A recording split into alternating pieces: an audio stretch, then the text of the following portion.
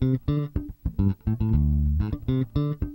Welcome to this module of Professor Messer's free Microsoft 70-680 certification training course. This module is on branch cache. I'm James Messer, and in this module, we're going to talk about branch cache. We're going to talk about distributed cache mode versus hosted mode, talk about the network infrastructure requirements to get branch cache even up and running in your environment. We'll talk about configuring some of the settings for branch cache, and finally, how you can look at managing the certificates for branch cache in your environment. Branch cache is a capability that was added to Windows 7 and Windows Server 2008 R2 so that you could cache information locally that normally would have to come across very, very slow wide area network connections. When you're over those slower WAN links, transferring a single file can take a long time. And if somebody else at your branch office needs access to the same file, you don't want them to have to go back to the WAN and transfer that same file back again. Instead, you would love to have a copy of it locally, a cached copy that you could access on your local network and not spend the time and the bandwidth having to transfer that file across the link. In the past, we've had to use additional hardware to do this. There have been third-party products, some that worked well, some that did that did not.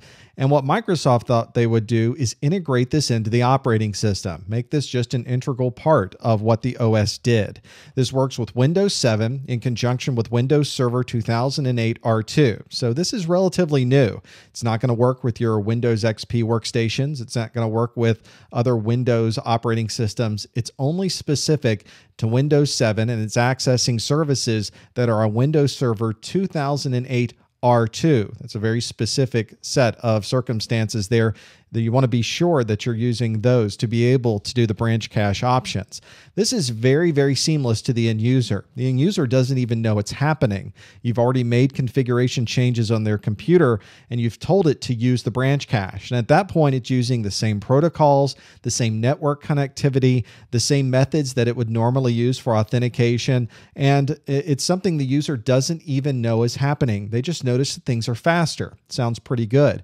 It's also something that only kicks kicks in if your latency to that remote server exceeds 80 milliseconds. So round trip time starts to be slower and slower. You'll start to see branch cache take advantage of that slow response time and be able to now kick in and start caching things locally. This is also something that's seamless to the end user. You don't have to change protocols. You don't have to change the way people access information. Use exactly the same authentication methods that you use. It looks exactly the same to the end user, but instead the information is being cached locally. It's all completely automatic and very, very seamless.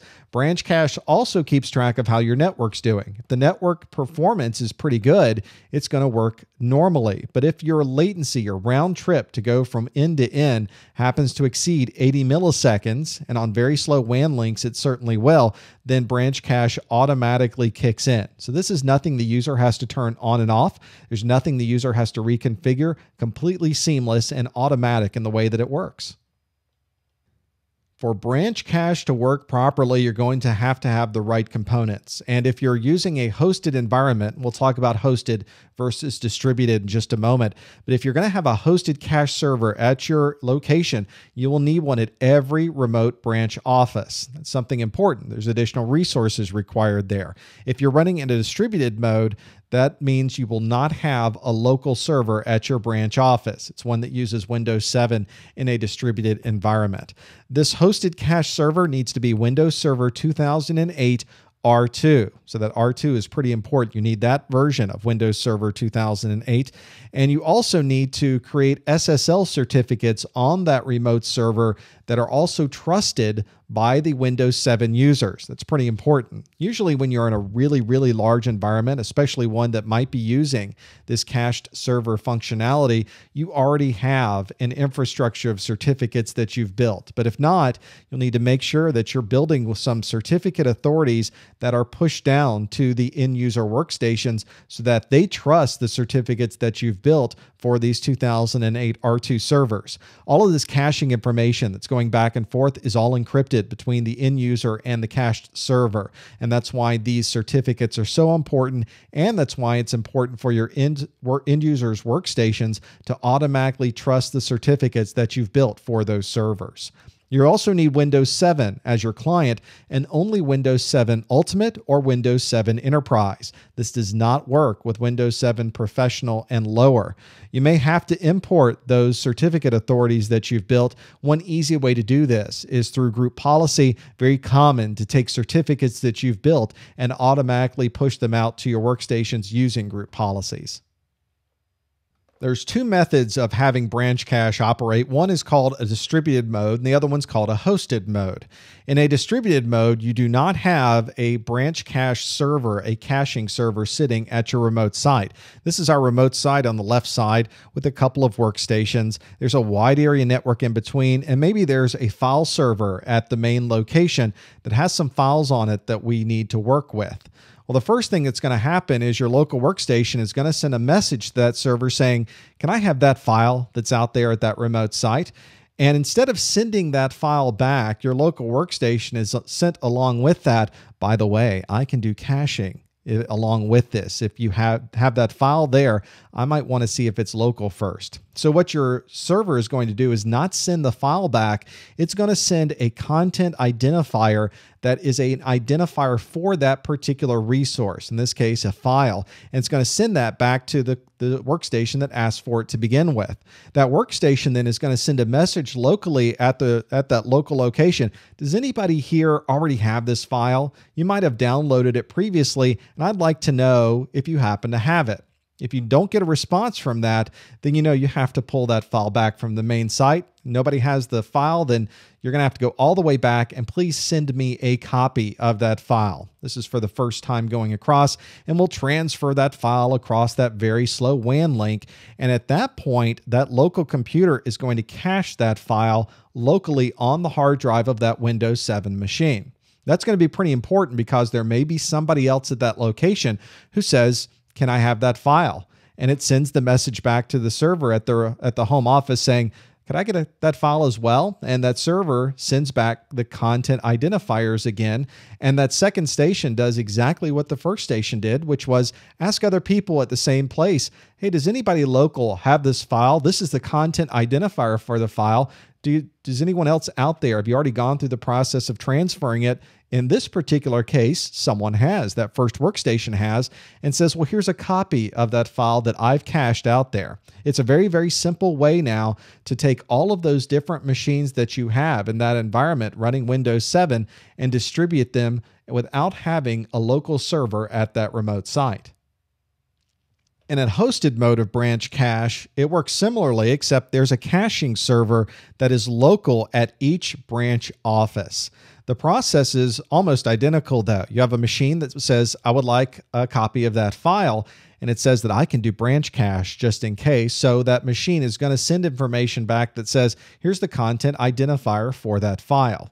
That machine then says, does anybody else have that file? And it's going to ask specifically to the caching server rather than ask everybody else that happens to be at our local site. And the caching server is going to know pretty quick whether it has the file or not. It says, sorry, I don't have that file. At that point, your first machine says, I'm going to go get the file then. It's going to send that message off to the file server and say, We're not going to cache this, just send me the file now. And your file server is going to take that file and send it across the network to that computer.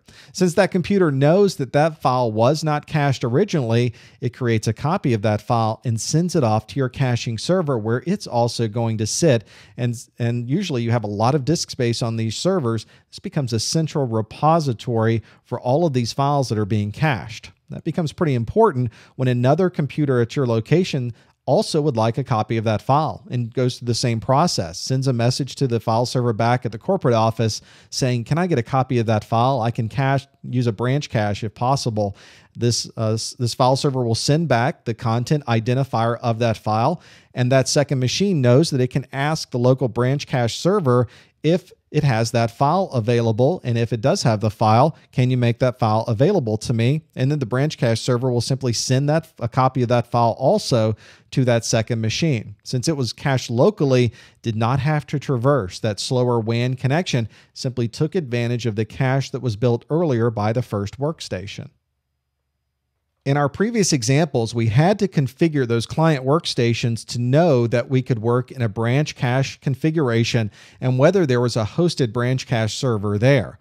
There are some settings under group policy, under computer configuration policies, administrative templates under network and branch cache that you'll want to look at. You can also see at the command line how you might want to set some of these things up. The netsh command that we've used previously also has branch cache commands associated with it where we can set up service modes for distributed or set service mode for a hosted client and specify a hosted server that we might want to use. Whenever you start configuring these at the command line, one of the things that opens up are some rules in your Windows firewall because often your branch cache server and other devices are connecting back to you to be able to open up that flow of communication to send those cached files. You need to have the Windows firewall open so that it can receive those messages from those external devices. You also might want to look at services running on your computer. Once you set up these group policies or set this up at the command line, there has to be a special service running called the peer dist service. This is the peer distribution service that allows you to act as a peer for all of these different distributions that are occurring. You should see that the service status is started and the startup type is set to manual. Let's review some of these topics relating to branch cache. Our first question What is required at a remote site to support branch cache in hosted mode? That's the special characters, the special word there, hosted mode. We're going to need a server to be able to cache these, and not just any server, of course. We need Windows Server 2008 R2. Other versions of Windows Server will not operate in branch cache mode. You have to have 2008 R2. Our second question Which Windows 7 editions support branch cache?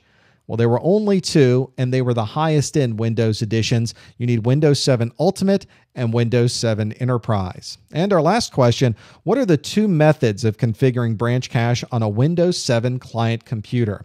We have done this both at the command line and at the GUI, and you saw that we used group policy to be able to set policies for everybody, or we could also use the netsh command if we'd like to do this in a batch mode or just would like to do this at the command line on a computer.